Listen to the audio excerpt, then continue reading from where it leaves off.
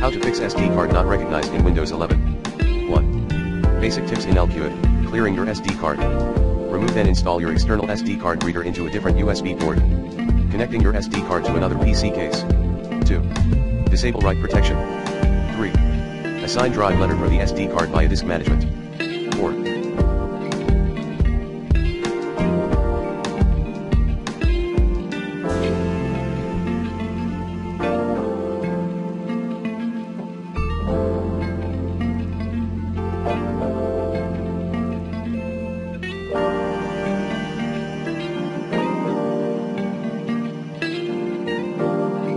Update the SD card driver using the recommended Avast driver updater in this video guide.